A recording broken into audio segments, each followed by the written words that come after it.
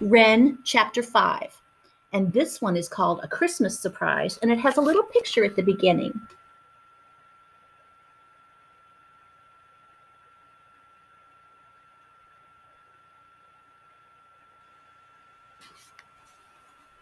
Christmas is coming, Christmas is coming. Marie put her arms around Karen and squeezed her hard.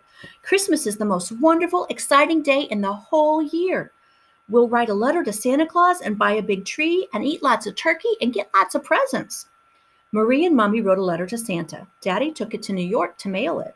Marie asked Santa for presents Karen would like, but she thought the best present would be a doctor who would help Karen use her arms and her legs. Every time that Marie saw John running away from Kathy, she wished Karen could run too. One bright afternoon, two weeks before Christmas, Marie and her mother went up to the attic. They put Karen in the playpen and sat Denise beside her to keep her company.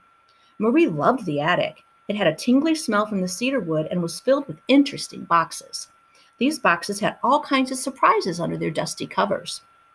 Marie was specially delighted this day because they were going to do something they only did once a year. They were going up for the Christmas boxes. These were enchanting because they were filled with beauty for Jesus' birthday. There were the tree lights, red, blue, yellow, green, all strung on a green cord. There were bunches and bunches of silver tinsel. Some of the tinsel was so old it had turned gold. Marie liked this best, and so did her mother. Way back in the corner was a pile of boxes that was taller than Marie. It had millions and trillions of ornaments in it. Every box had a label on it which told you just what was inside. Marie read the labels as her mother handed her the boxes silver trumpets, snowballs, candy canes, make believe, tiny balls for the top of the tree, stars, cornucopias, angel's hair, medium sized balls, all colors, great big balls for lower branches, all colors, little sleds with children on them, reindeer, Santa Claus is made of silk and stuffed, big Christmas stockings. Thanks a lot. Grandpa did that. For mommy, daddy, Marie, and Karen strings of red and green beads, and strings of colored paper made by Marie. Mummy said these were the prettiest of all. Big silver star for tip top of the tree. Marie always helped her mother and father put the lights and tinsel on the tree, but the ornaments were left around the bottom for Santa to put on. Marie and Mummy carried these boxes downstairs, and Mummy said, Now for the best boxes of all. Her eyes were shining. Come on, Mummy, hurry, cried Marie, and her eyes were shining too. Hurry, hurry, Karen repeated. We'll be right back, sweetheart, Mummy told Karen. Just wait until you see what's in the best boxes of all. Marie and Mummy raced each other up the attic stairs. Marie won. Way, way back in the corner was an old blue bureau. It had fairies' curtains on it. Some people who don't know any better call them cobwebs. Slowly, carefully, Marie and her mother opened the large middle drawer. Inside were white boxes tied with satin ribbons. Gently, they took them out and carried them downstairs. They placed them around Karen's playpen. Wait till you see, Karen.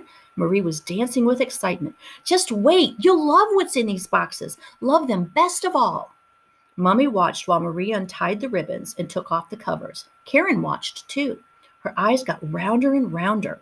Mother helped Marie take out wads of tissue paper, and underneath there was a stable, a brown building made of wood, not quite like a house because it only had three sides and the front was open bundles of straw, a cow, four big white sheep, eight little white lambs, two gray rabbits, a squirrel, a mouse, two shaggy sheepdogs, a calf, a donkey, three goats with long beards, a shepherd dog, a shepherd boy with a red woolen coat, a father shepherd, a little wooden bed called a manger, a beautiful, beautiful lady in a long blue cloak she had golden hair and she, and she was smiling.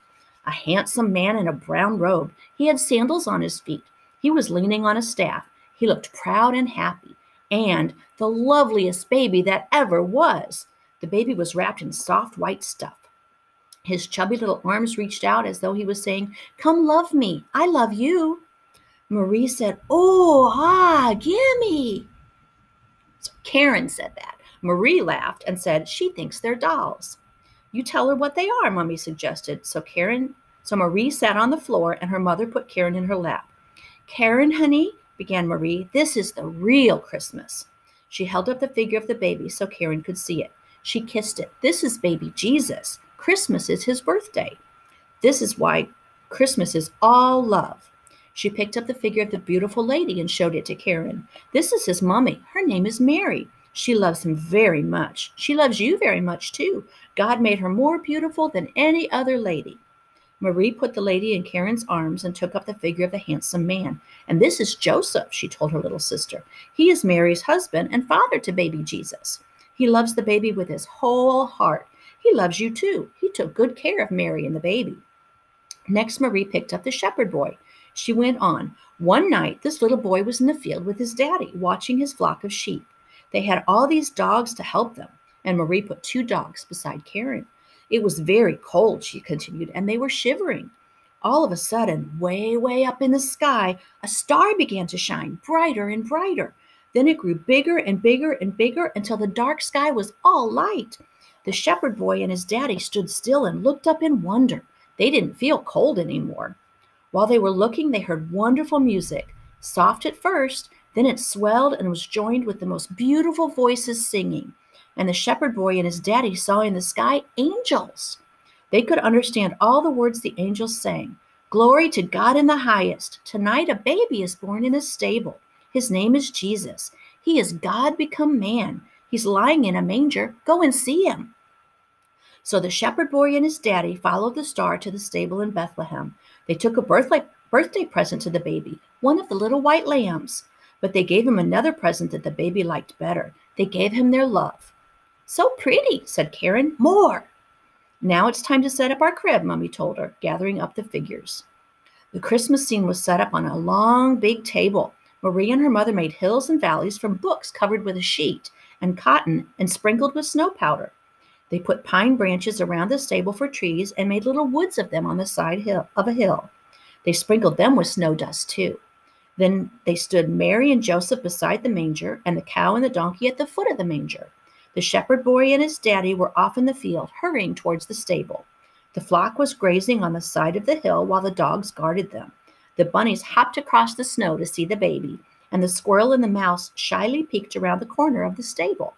The goats walked slowly along the path, their heads turned toward the manger. Marie filled the manger with straw and then, most lovingly, placed the baby with his arms outstretched to all of the world. Mummy was holding Karen up so she could watch all that was done, and Karen kept saying, Oh, see, Mom, oh, see, pretty baby. Marie was thinking how happy they would all be if Karen could walk over to the crib and put out her hand and touch the baby. Marie knelt down in front of the baby and whispered softly so Karen couldn't hear, Dear baby Jesus, Christmas is your birthday. Couldn't you bring Karen a present? Please, please help mommy and daddy find a doctor who will teach Karen to use her arms and legs. Please, baby. Thank you. Just two days before Christmas, Daddy said to Marie, You're going to spend the day with Kathy and John. Mommy and I have found another doctor we want to we want to see Karen. Will he help her, Daddy? Marie asked hopefully. We don't know, Princess. We can only wait and see. We must keep looking and you must keep praying. If God wants her to walk, he'll help us to find the right doctor. I will, Daddy. I will, Marie promised. I'll ask Kathy to say a prayer too, and maybe John, although he forgets to finish a prayer and starts blowing bubbles.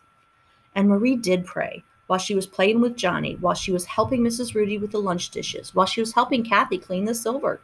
She slept at the Rudy's house that night, but before breakfast the next morning she ran up the hill, hoping her mother and father had reached home.